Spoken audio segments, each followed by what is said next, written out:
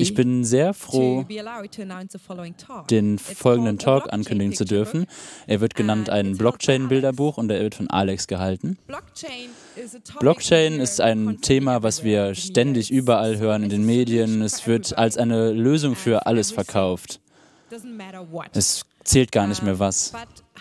Aber wie es wirklich funktioniert und was es überhaupt eigentlich ist, wissen die meisten Leute überhaupt gar nicht. Und deshalb haben wir heute hier eine Einführung mit Bildern. Also heißt Alex auf der Bühne willkommen mit einem großen Applaus. Hi.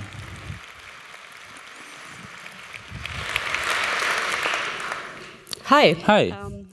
Ja, mein Name ist Alex und ich bin von der Technologischen Universität Braunschweig und ich arbeite da am Institut für, für Anwendungssicherheit. Ich hoffe, ihr seid hier, um Blockchain Picture Book, also den Vortrag zu hören. Direkt vom Anfang an, dieser Vortrag ist nicht über die aktuellen neuen Kryptowährungen da draußen und auch nicht über, ja, das habe ich jetzt nicht verstanden. Aber ich bin hier, um euch eine, wäre, eine sehr grobe Einführung zu geben in, die, in den Gedanken und in die Grundlagen von ja, diesem Blockchain-Ding da draußen. Und ihr könnt dann euch einfach selber ein Urteil bilden. Ich hoffe, da sind keine Blockchain-Experten hier unter euch. Also das ist ein Grundlagentalk, der heißt, ich erwarte keine Hintergründe, keine technischen Hintergründe von euch. Lasst uns einfach mal versuchen. Stellt euch vor, ihr werdet in der folgenden Situation. Irgendwann einmal gab es zwei Leute. Wir nennen sie einfach Mary auf der linken Seite und Alex auf der rechten Seite. Sie wollten miteinander handeln. Ja, äh, Mary will, will, will, ein Haus von Alex bauen und kaufen und deshalb einigen sie sich auf einen Betrag und Alex bringt die Schlüssel vorbei für das Haus, was an Mary verkauft werden soll. Aber weil Mary und Alex sich nicht kennen, vertrauen sie sich auch nicht. Also haben sie einen Vertrag aufgesetzt, nur um auf der sicheren Seite zu sein. Den kann man hier auf der rechten Seite sehen. Es ist ein typischer Vertrag für einen Handel und er besteht auf verschiedenen wichtigen Informationen, eine, Beschrift, eine Beschreibung vom Objekt, was verkauft werden soll, das Haus von Alex, die Adresse, vielleicht was es da drin gibt, der vereinbarte Geldbetrag, also lass uns einfach mal sagen, eine halbe Million oder was auch immer, die Personen, die damit involviert sind, also in diesem Fall Mario, Mary und Alex, und die Signaturen, also die Unterschriften. Und als ein letzter Schritt wird der Vertrag mit einem Zeitstempel versehen, um gültig zu sein. Heutzutage existieren solche Verträge auch als digitale Dokumente. Aber für beide, sowohl die digitalen als auch die analogen Dokumente, wenn ein böser Angreifer eine Kopie davon erhält, dann kann er sie auch verändern auf eine böse Art und Weise, zum Beispiel den Zeitstempel entfernen. Das kann den Vertrag ungültig machen und auch eben den Handel ungültig machen. Und nebenbei gesagt, der Angreifer könnte auch einer von den beiden im Handel beteiligten Personen sein. Also lass uns sagen, unser Alex ist der Böse. Und er möchte das Geld von, von Mary nehmen, aber auch das Haus behalten. Okay? Das ist unsere Startsituation. In 1990 wurde in einem wissenschaftlichen Paper vorgestellt, eine kryptografische Lösung, um einen Zeitstempel an ein digitales Dokument zu binden, ohne dass es getrennt werden kann. Was heißt das? Beide, also sowohl das Dokument als auch der Zeitstempel, werden in ein neues Dokument vereinigt und können nicht mehr voneinander getrennt werden, ohne beschädigt zu werden. Also, wir werden sehen, wie das genau funktioniert. Für jetzt erstmal lass uns so tun, als wäre dieser Block, den man da sehen kann, unser digitales Dokument enthält und den Zeitstempel. Und beide werden verbunden durch einen mystischen, fancy Kryptographie-Algorithmus, der durch diesen blauen Rahmen repräsentiert wird. Okay? Also, glücklicherweise, oder nein, unglücklicherweise haben wir immer noch ein Problem, nämlich dass unser Angreifer, in diesem Fall Alex, er könnte diesen Kontrakt, diesen Vertrag und alle anderen Kopien davon löschen und einfach behaupten, es hätte ihn nie gegeben. Also, um sich mit diesem Problem auseinanderzusetzen, hat dieses Paper eine Kettentechnologie vorgeschlagen für verschiedene Blöcke, die natürlich alle verschiedene Verträge enthalten. Also der Ergebnis ist halt eine Kette aus Blöcken. Die Blockchain. Ja, hey, da sind wir schon. Und weil es eine Kette ist, ist es nicht möglich, einen von diesen Blöcken zu entfernen. Einen von diesen Blöcken zu entfernen, würde die ganze Kette kaputt machen. Und dass man so, dass man sie nicht wieder zusammenfügen könnte, ohne sie zu beschädigen. Das werden wir auch später nochmal sehen. Okay? Ja, also. Aber das verhindert halt immer noch nicht, dass jemand diese ganze Kette löschen könnte. Also die länger, je länger diese Kette wird, desto mehr Leute werden damit einbezogen und da ist es auch immer wieder, das Risiko steigt, dass ein bösartiger Angriff erkannt werden würde. Also, soweit so gut? Prima. Aber das Problem bleibt, diese Kette muss irgendwo gelagert werden. Erinnert euch, es ist die ist digital. Also lasst uns sagen, eine andere vertrauenswürdige Partei bekommt diese Aufgabe. Also hier, das ist unsere vertrauenswürdige pa Partei und die ist jetzt zuständig für die Blockchain. Also Aber diese vertrauenswürdige pa Partei kann auch ausfallen oder nicht mehr vertrauenswürdig sein. Also müssen wir irgendwo. Irgendwas könnte passieren, irgendwelche Hardware-Failure. Irgendwas kann aus Versehen gelöscht werden.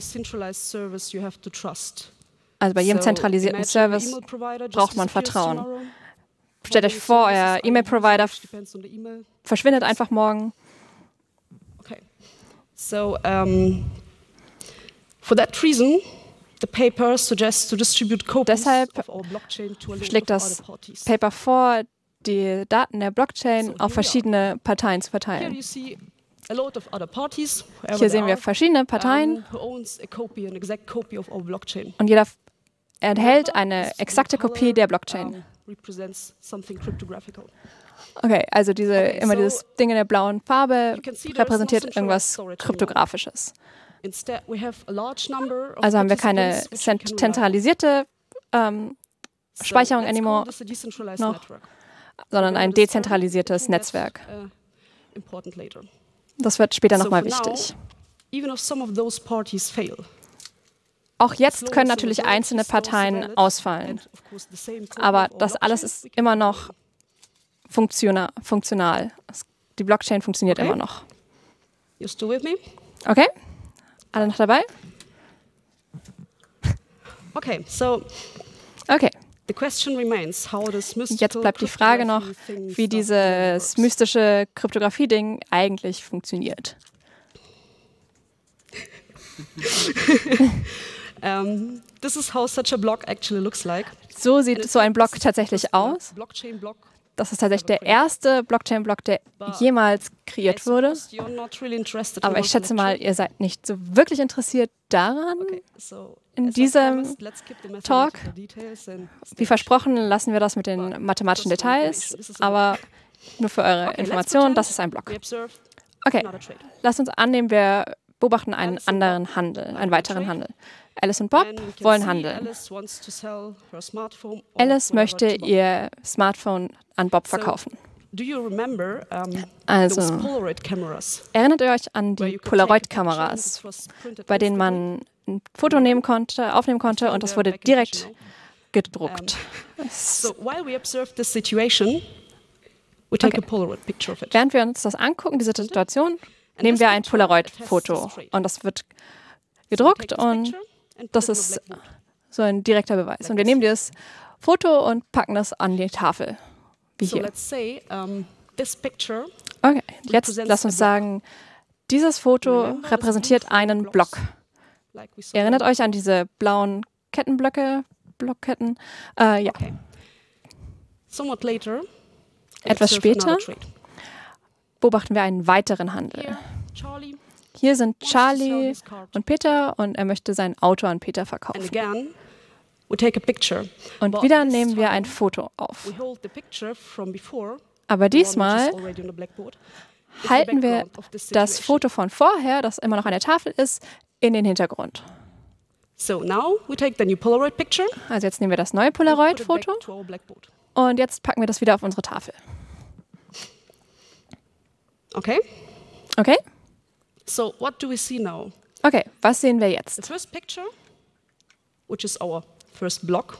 Das erste Foto, welches unser erster Block ist, kommt in unserem, im Hintergrund unseres zweiten Fotos, also unseres zweiten Blockes, vor. Also lass uns sagen, der zweite Block ist mit dem ersten verkettet. Also wenn jemand Böses den Inhalt des ersten Blockes ändern möchte, muss er auch den Inhalt des zweiten Blocks ändern. Also es ist mehr Aufwand für die böse Partei. Okay? Okay? So, of course, let's keep doing the same. Okay, na, jetzt machen wir das so weiter. Also ein neues Foto an die Tafel. Jetzt sehen wir Eve und Alex, die auch wieder handeln, ein paar Güter. Und wieder haben wir das zweite Foto im Hintergrund des dritten Fotos. So it's the same thing. Also wieder, das ist das dritte mit dem zweiten verkettet. Okay, you're with me? Nice. Okay? Seid ihr alle noch dabei? Schön. Okay, und noch einmal wegen der Vervollständigung nehmen wir den vierten Block. Jetzt haben wir diesmal ein Aus, das ist etwas teurer. Und wieder sehen wir den Inhalt des dritten Blocks im vierten Block. Und deswegen sind sie verkettet. Jetzt sehen wir das große Ganze, das große Bild. Also, wenn unsere böse Partei jetzt etwas im ersten Handel, also im ersten Bild ändern möchte, dann muss er das zweite und das dritte und das vierte Bild auch noch ändern. Sonst ist die Modifikation äh, aufspürbar. Stimmt ihr zu? Okay. Okay, jetzt haben wir hier unsere sehr spezielle Art der Blockchain kreiert mit den Bildern, die Blöcke repräsentieren. Okay. Okay. So this effort can bring us some fancy properties. Das kann uns jetzt einige schöne Eigenschaften bringen. Und jetzt ist es wichtig zu sagen, dass einige dieser Eigenschaften optional sind. Es gibt verschiedene Arten von Blockchain-Systemen und die meisten Eigenschaften hängen von der Art der Blockchain ab und von dem Use Case. Jetzt, aber lasst uns jetzt einmal ein paar von den wichtigen Eigenschaften angucken. Okay, hier ist wieder unsere Tafel, die wir vorher schon konstruiert haben. Okay, wir haben schon diese Verkettung gesehen mit dem Foto im Foto. Dieser Mechanismus macht unsere Blöcke unveränderbar. Und deren Inhalt natürlich. Sie können nur modifiziert werden, wenn alles, wenn die komplette Kette verändert wird. Okay, jetzt nehmen wir unsere Tafel und packen sie irgendwo in, in die öffentlich. So können alle Menschen, die vorbeilaufen, äh, überprüfen, was so passiert auf der Tafel und können Anomalien erkennen. Okay, jetzt haben wir sozusagen coole Open Source Software mit unserer Blockchain. Other parties Okay, jetzt haben wir weitere Parteien, die unser verteiltes Netzwerk ähm, Teil unseres Netzwerks sind. Und die machen jetzt eine exakte Kopie unserer Tafel. Und sie machen auch Updates jedes Mal, wenn etwas Neues auf unsere Chain kommt. Okay, unsere Originaltafel verschwindet einfach und dann können wir aber trotzdem jemanden fragen nach der letzten Kopie und dann können wir es wiederherstellen. Und selbst wenn einige dieser Parteien bösartig werden, äh, solange einige Parteien oder die Mehrheit noch gut bleiben und Kopien besitzen, kann man das noch detektieren. Und man kann Anonymität für alle involvierten Parteien sicherstellen. Sowohl die Parteien in den Verträgen, in den Blöcken, als auch die Parteien des Netzwerks.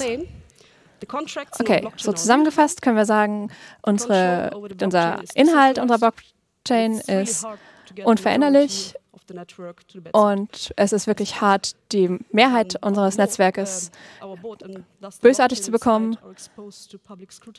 Und wir haben Transparenz, da unsere Blockchain öffentlich zugänglich ist. Und es ist unmöglich, einen einzelnen Block zu entfernen, ohne die Blockchain komplett zu brechen. Und wir können Anonymität gewährleisten für unsere Verträge innerhalb der Chain. Und wir müssen uns nicht auf eine einzelne Institu Institu Institution verlassen, wie eine Bank oder so. Okay, das sieht doch schon mal ziemlich cool aus. Das sind nur einige der vielen Eigenschaften, die wir bekommen können. So, jetzt lass uns mal einen genaueren Blick auf eine der allgemeinen Anwendungen einer Blockchain gucken. Okay, ihr habt schon mal was von Cryptocurrency gehört, also Kryptowährung, zum Beispiel Bitcoin. Natürlich gibt es noch viele weitere Kryptowährungen. Aber lasst uns über finanzielle Transaktionen auf einer Blockchain reden, im Allgemeinen. Okay, hier seht ihr ein klassisches deutsches Banküberweisungsformular. Vor den Zeiten von Online-Banking wurde so ein Formular genutzt, um Geld von einem, einem Bankkonto aufs andere zu übertragen. Vielleicht erinnern sich einige euch an euch. Man musste es ausfüllen, gab das bei der Bank ab und die haben sich um den Rest gekümmert. Okay, man sieht hier einige Felder. Da haben wir die Namen des Sendenden und des Empfangenden. Hier kann man die Account-Nummern äh, sehen und die Bank-ID-Nummer. Und man kann sehen, es ist die gleiche Bank. Natürlich brauchen wir noch tatsächlich die Geldmenge und noch eine Unterschrift und das Datum. So for financial trans uh, transactions via so cryptocurrencies like Bitcoin, whatever. Finanzielle Transaktionen wie Kryptocoin oder so brauchen wir gar nicht so viele Informationen. die einzigen Informationen, die wir brauchen, sind die Public Keys des Senders und des Empfängers. Die sind natürlich viel länger und sicherer. Natürlich brauchen wir immer noch die Menge des Geldes also und eine Signatur des Senders. Und erinnert euch, das ist jetzt dann digital. Und früher konnte man das einfach ausfüllen, in die Bank bringen und vergessen. Und bei Kryptowährungen, einfach gesagt, ist es so, dass alle solche Transaktionen gesammelt werden von einem Netzwerk, von einem verteilten Netzwerk. So, jetzt lass uns sagen, unser Netzwerk hat sieben Transaktionen gesammelt. So, diese Transaktionen sind jetzt nicht in unserer Blockchain. Also zurück zur Blockchain. Wir haben eine Blockchain mit fünf Blöcken mit irgendwelchen Transaktionen oder Verträgen drin. So, jetzt ist unsere Frage, wie machen wir denn jetzt den sechsten Block in unserer Kette, in unserer Blockchain? Einige von euch sagen vielleicht, hey, wir haben einige Timestamps oder ähnliches, können wir die nicht verwenden. So, das Problem ist aber, unser Netzwerk ist vielleicht in einer anderen Zeitzone und wir haben vielleicht ein paar Verzögerungen in unserem Netzwerk, also mit Timestamps ein bisschen schwierig. Okay, vielleicht hat jemand schon mal eine Idee, wie man das benutzen kann. So, wenn alle involvierten Parteien einer Regel folgen und sich auf eine Regel einigen können, dann kann man das Konsens nennen oder Konsensprotokoll. Vielleicht haben das einige von euch schon gehört. Okay, so remember it. Let's replace transactions and also contracts much simpler. Wir wollen Verträge und äh, Überweisungen ersetzen durch etwas Einfacheres, und zwar den roten Block in unserer Blockchain. Also ist jetzt die Frage, wir haben jetzt Symbole statt unseren Formularen und wollen daraus jetzt den Block basteln. Und es gibt einige verschiedene Wege, wie man das erreicht. Okay, lasst uns mal über die besten Konsensusprotokolle reden. Okay, das eines der bekanntesten ist das Proof of Work Protokoll. Also äh, okay. Was hat das jetzt zu, zu tun mit? Also einfach gesagt, jedes Mal, wenn ein neuer Block erstellt werden soll, und das heißt, solange es halt ausstehende Transaktionen gibt, brauchen wir neue Blöcke, dann macht unser Netzwerk ein Wettrennen. Und jeder kann teilnehmen an diesem Wettrennen. Und der Gewinner des Rennens kann entscheiden, welches Symbol als nächstes in den neuen Block kommt. Wirkt doch einfach, oder? Und in diesem Rennen können wir sehen, dass das Winner, die gewinnende Partei wählt das Herz aus für den nächsten Block. Also ist das Herz jetzt im neuen Block. Und der, das Ergebnis dieses Rennens ist bekannt für jeden in unserem verteilten Netzwerk. Also alle teilnehmenden Parteien in diesem Netzwerk hängen jetzt nun den neuen Block an ihre eigene lokale Blockchain-Kopie an und da ist dann das Herzsymbol drin. Right. Gut. Unglücklicherweise, wie einige von euch vielleicht wissen, hat dieses Protokoll auch noch einige Nachteile. Und das größte Problem davon ist der negative Einfluss auf die Umwelt. Das bedeutet, solche Rennen abzuhalten, verbraucht natürlich viele Ressourcen und in der Realität natürlich keine Motorräder, aber eine große Zahl an Hochleistungsrechnern, die an diesem Rennen teilnehmen.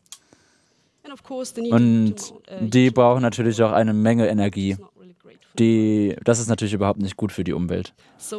Also im letzten Jahr wurde äh, geschätzt, dass das ähm, Bitcoin-Netzwerk genauso viel Strom verbraucht wie das ganze Land Dänemark, was eine ganze Menge ist. Okay.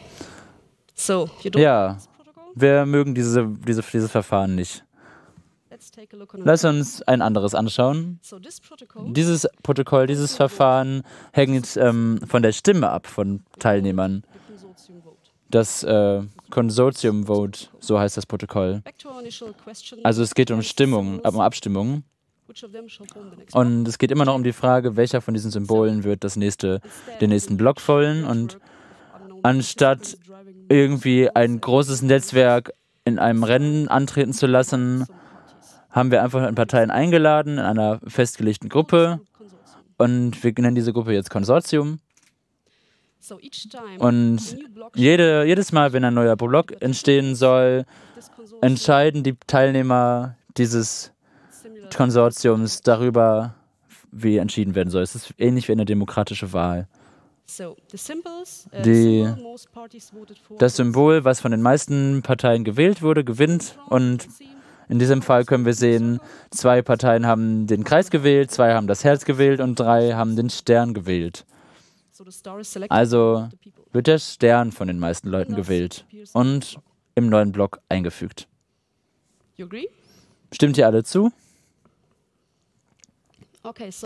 Also, das Ergebnis dieser Wahl ist wieder öffentlich im ganzen Netzwerk, wo jeder eine Kopie der gesamten Blockchain behält. Und jede Partei, jeder Teilnehmer in diesem verteilten Netzwerk hängt jetzt diesen neuen Block an seiner eigenen lokalen Blockchain an. Und das enthält dann das Sternsymbol. Und keine Umweltnachteile hier. Vielleicht ist das die beste Lösung? Okay, some of you disagree. Vielleicht würden einige jetzt Nein sagen. Ja, hier ist das Problem, die, wie das Konsortium gebildet wird. Das ist einer der Nachteile. Man kann nicht sicherstellen, dass die teilnehmenden Parteien unvoreingenommen sind. Hier sieht man einen sehr großen Mann, der nur Leute, teil, Leute an, der an, der, an dem Konsortium teilnehmen lässt, die da garantieren, dass sie für den Kreis wählen werden. Also es ist eine Art Filter. Und weil da jetzt nur Teilnehmer sind, die dann Kreis wählen, im Konsortium wählen sie auch das und wie man hier sehen kann. Also neben anderen Nachteilen kann dieses Protokoll auch für Korruption oder Beeinflussung des Netzwerks genutzt werden. Seid ihr immer noch dabei? Prima. Lass uns das letzte Konsensprotokoll anschauen. Vielleicht haben wir hier mehr Erfolg. Dieses hängt davon ab, vom Anteil, vom Anteil am Netzwerk, den jeder hat. Dieses Konsensprotokoll wird genannt Proof of Stake, also Nachweis des Anteils, aber es hat, hat das nicht viel mit, mit Zufall zu tun, könnte man jetzt meinen. Also ein letztes Mal stellen wir die Frage, welches der, Symbol, welches der Symbole soll in den nächsten Block der Blockchain rein? Und jetzt behaupten wir einfach mal, wir haben irgendein System. Alle existierenden System Symbole dieser Welt bilden unser System. Jetzt können wir das System uns anschauen. Das ist der Kreis auf der rechten Seite. Und das ganze System gehört fünf teilnehmenden Parteien, die man unten links sehen kann. Diese fünf verschiedenen Farben.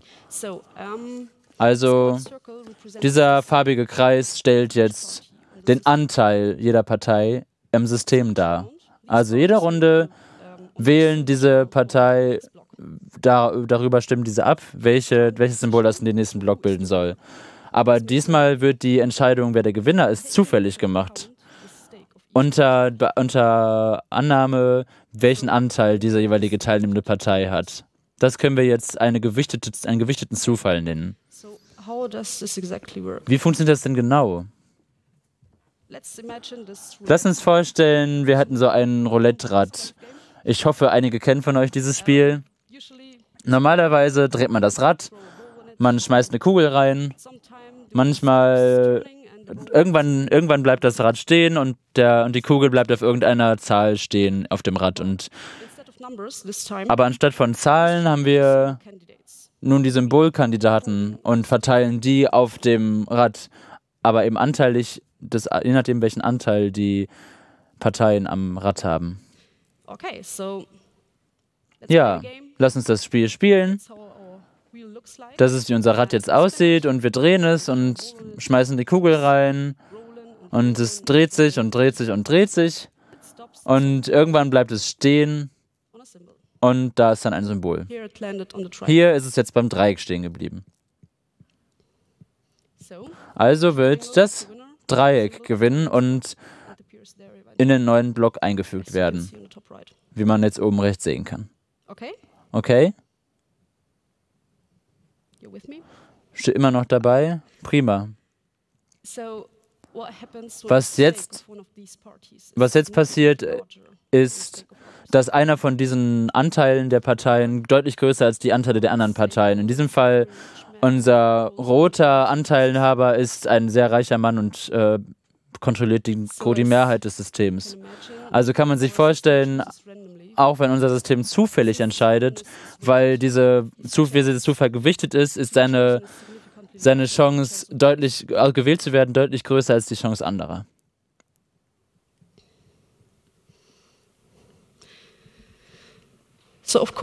Jetzt stellt sich die Frage, es gibt immer noch mehr Konsensprotokolle da draußen und man könnte jetzt ganze Stunden damit verbringen, einfach nur über die zu reden, aber um zum Punkt zu kommen, je, jeder, jeder Versuch, irgendwie einen Konsens zu finden, hat irgendwelche Nachteile. Und je nachdem, welcher Anwendungszweck unser, unsere Blockchain hat, können diese Nachteile tatsächlich auch negativen Einfluss auf unser Projekt haben. Also, warum geben wir uns überhaupt noch so viel Mühe mit der Blockchain, kann man sich jetzt fragen.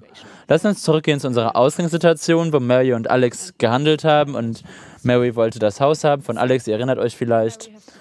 Und hier muss Mary Alex vertrauen, dass das Haus, was er hier verkauft, wirklich sein Eigentum ist. Und dass er den Vertrag danach nicht wieder rückgängig machen wird. Auf der anderen Seite muss Alex aber auch Mary vertrauen, dass, er, dass sie ihm den richtigen Geldbetrag gibt für das Haus. Also, wenn ein, eine Bank in dem Handel involviert ist, dann müssen beide, also Mary und Alex, der Bank vertrauen, dass sie den Geldbetrag vertrauenswürdig überweist und auch den richtigen Betrag und auch eben in der richtigen Währung. Und in großen Handeln, also wie zum Beispiel beim Hausverkauf, dann ist auch ein Notar involviert. Mary und Alex müssen beide dem Notar vertrauen, dass er unparteiisch ist.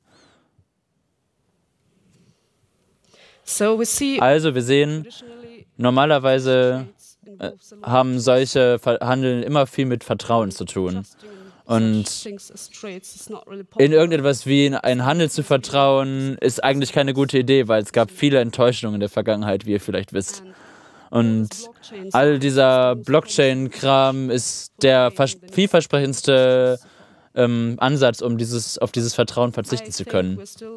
Aber ich denke, da ist immer noch ein weiter Weg, bis wir dieses Ziel tatsächlich erreichen. Also lasst uns sehen, was uns die Zukunft bringt. Danke für Ihre Aufmerksamkeit.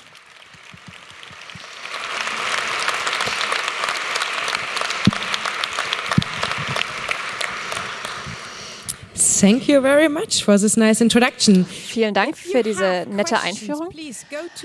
Wenn ihr Fragen habt, bitte könnt ihr bitte zu den Mikrofonen gehen.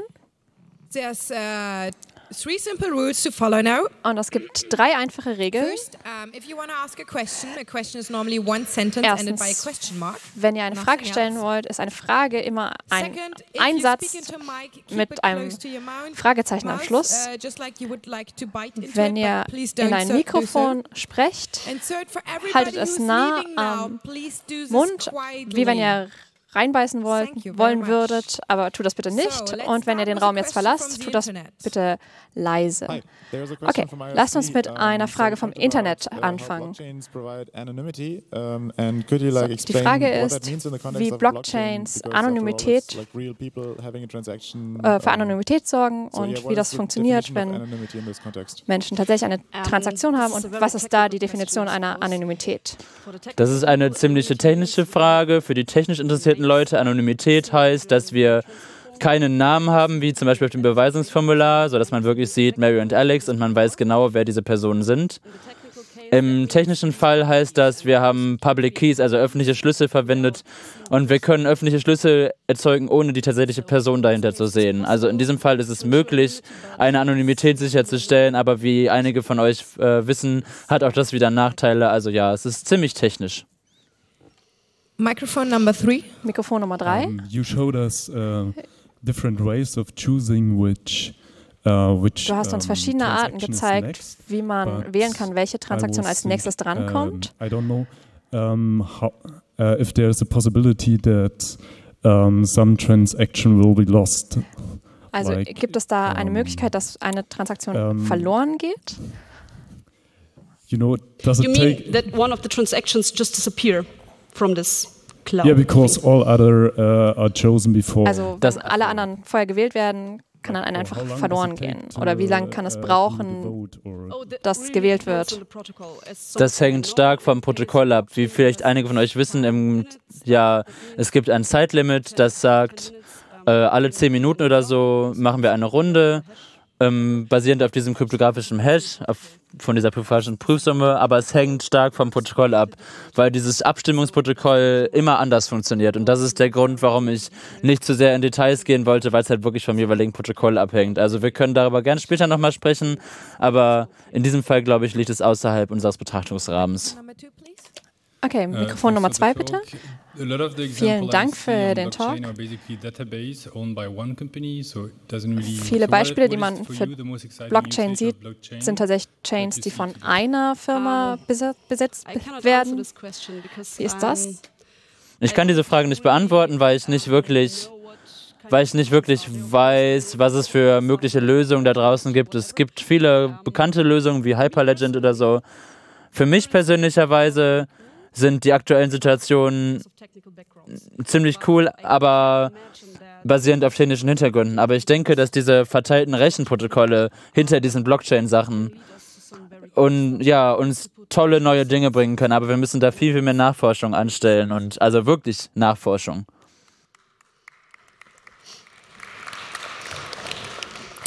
We have another question at microphone number two. Eine weitere Frage am Mikro 2. Great talk.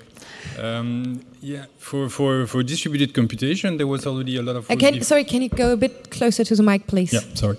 Um, If, if one of the most interesting usage is distributed computation, okay, wenn eine der interessantesten Anwendungen Distribut verteilte Rechenleistung? Verteilte Rechenleistungen sind,